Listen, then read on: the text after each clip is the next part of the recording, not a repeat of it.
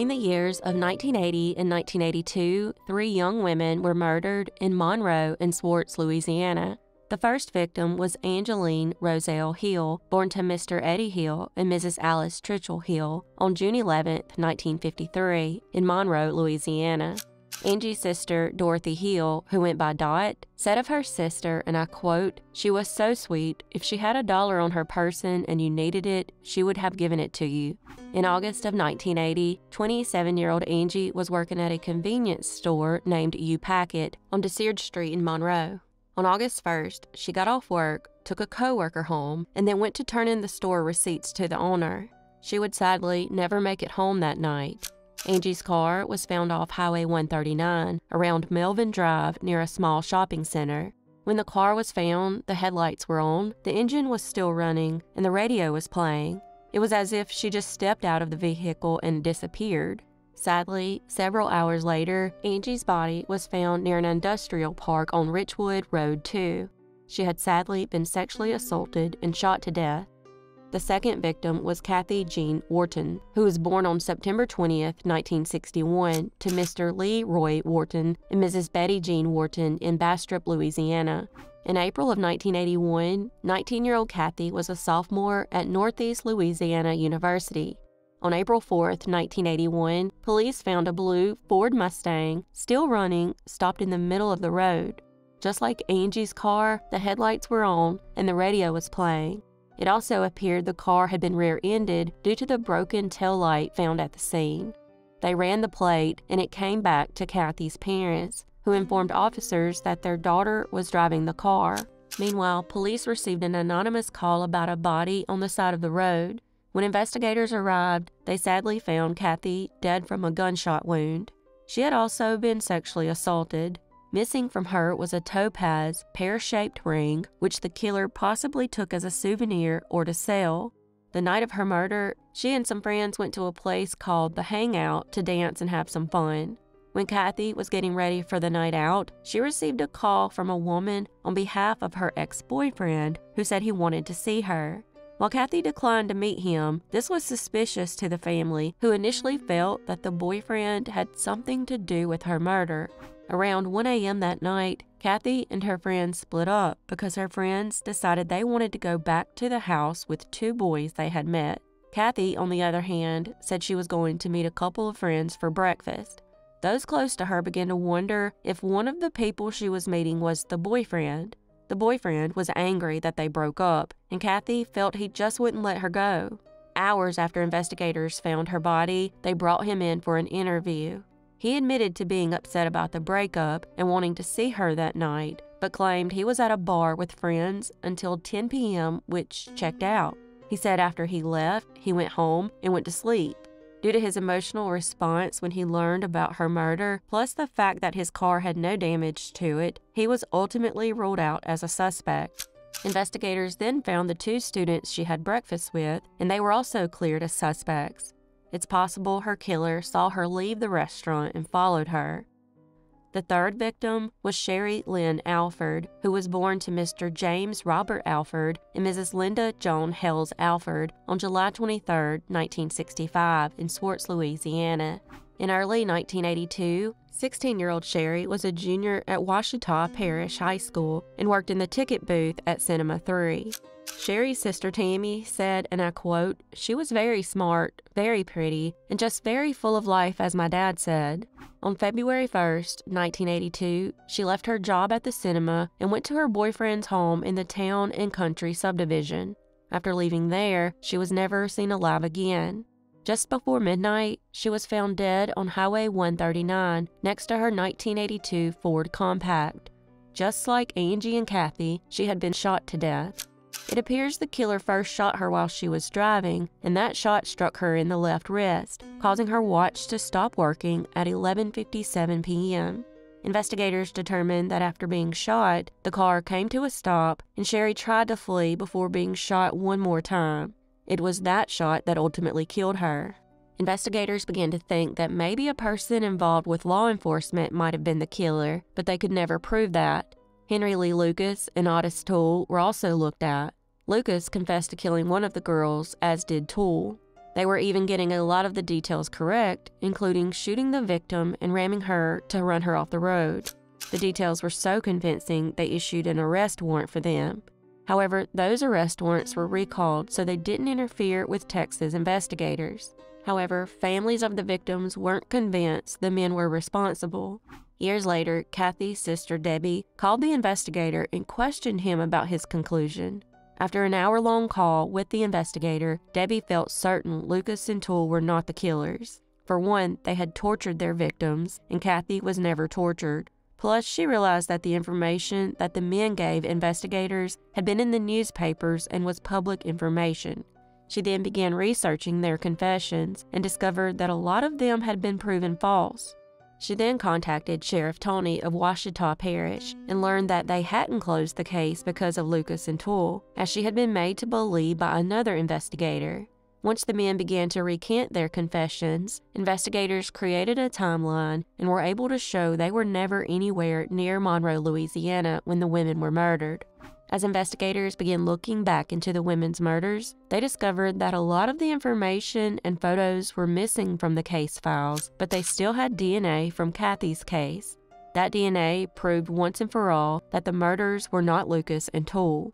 Years later, the DNA was entered into CODIS, and they got a match to a man named Anthony Glenn Wilson.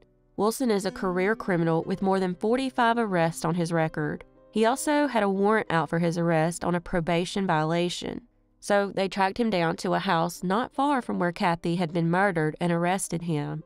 When he was brought in for questioning, he said he didn't know who Kathy was. After being told they had his DNA, he changed his story and claimed he had a sexual relationship with Kathy. Unfortunately, the prosecutor refused to prosecute him because of all the missing evidence. They tried to find the lost files but were never able to. So while they couldn't prosecute him for Kathy's murder, they were able to prosecute him on an outstanding case of burglary. Because of his past crimes, when he was convicted of the burglary, he was sentenced to 12 years in prison. Prosecutors then asked the judge to sentence him to additional time because of him being a habitual offender. The judge agreed and gave him life in prison without the possibility of parole. Unfortunately, since no one has ever been charged with their murders, these cases technically remain unsolved.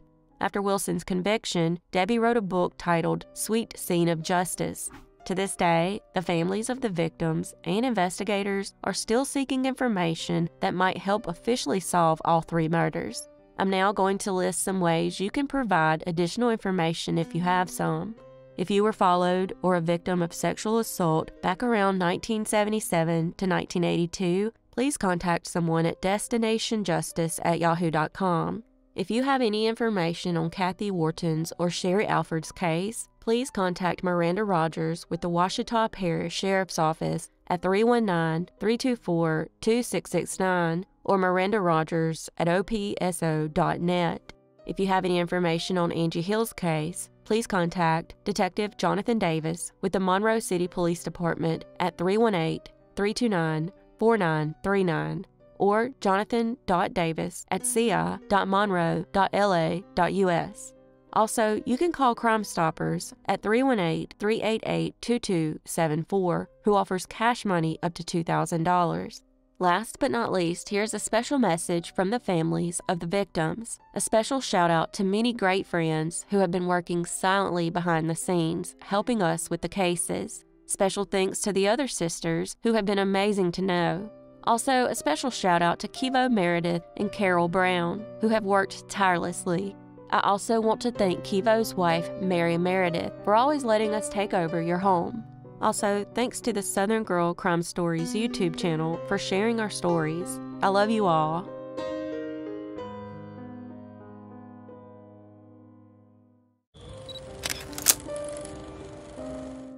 Elena Carlotta Roy was born to a large family in California in November of 1937. Those who knew her well described her as very family oriented and said she was close to many of her siblings. In 2021, 83 year old Elena was living with her partner of 14 years, Chris Cataldo, in Fallbrook, California.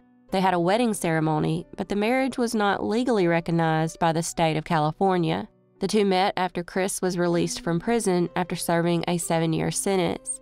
Regardless, her family was very concerned, but eventually learned to trust him. However, they said he never liked for them to come around. Chris told a different story and said that Elena was the one distancing herself from her daughters. In 2021, Elena was living with dementia and was known for walking away from her home at times.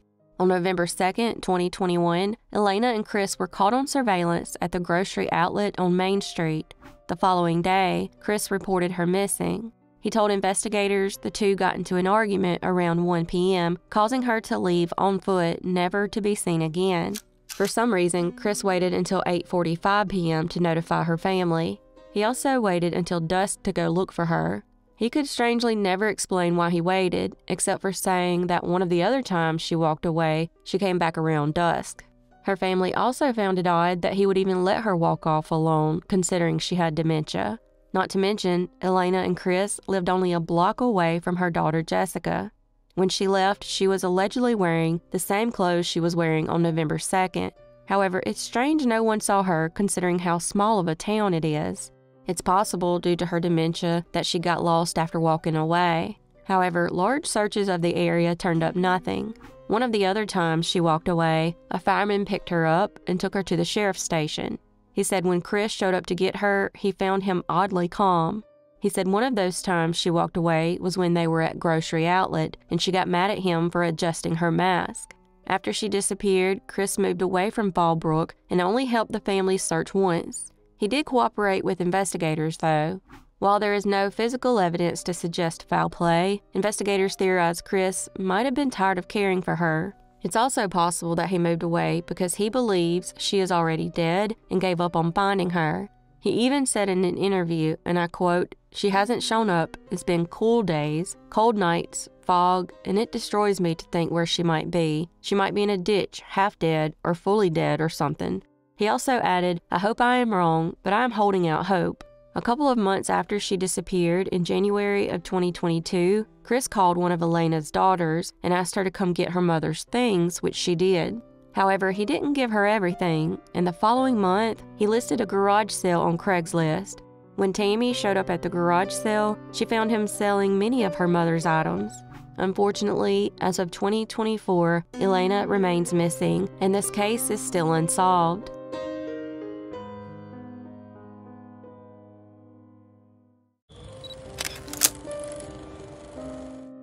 Jacob Paddock Weeks was born on May 15, 1991. In 2019, 27 year old Jacob was living in Indian Hills, Colorado, when he strangely disappeared.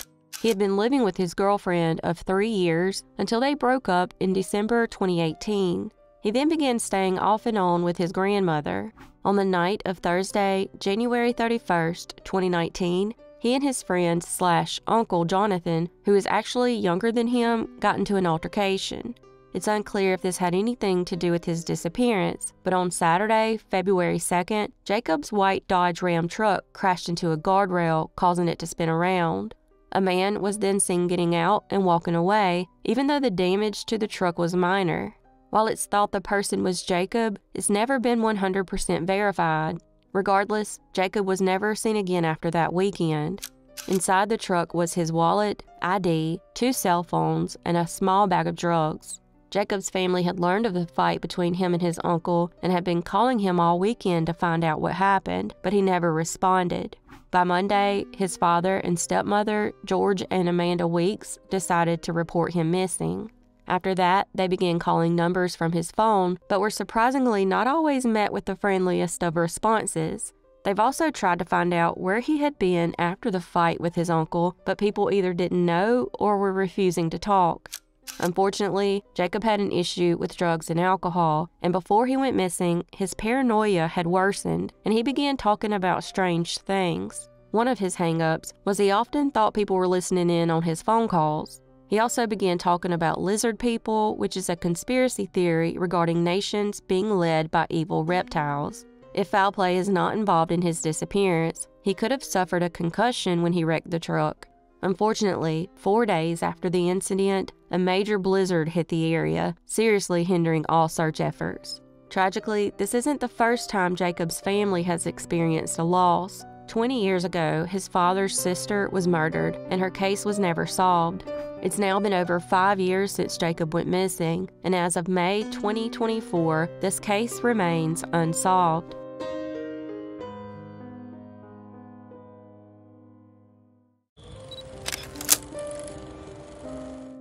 Kyle Christopher Seidel was born on April 17, 1978, to parents Richard and Darlene, and grew up in East Lyme, Connecticut.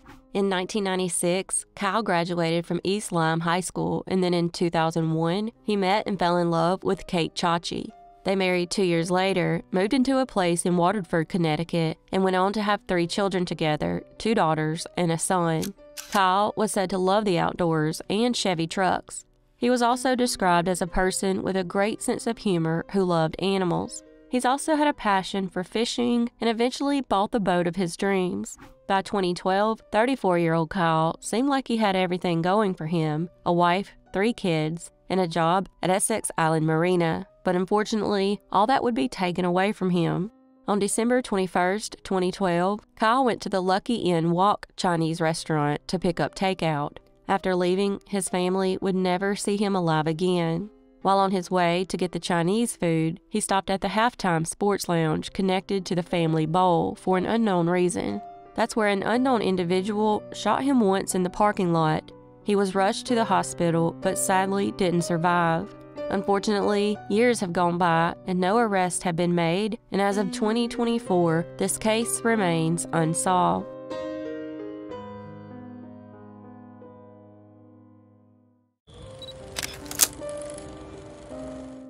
Timothy Boshart was born on December 20, 1983, and went by Tim.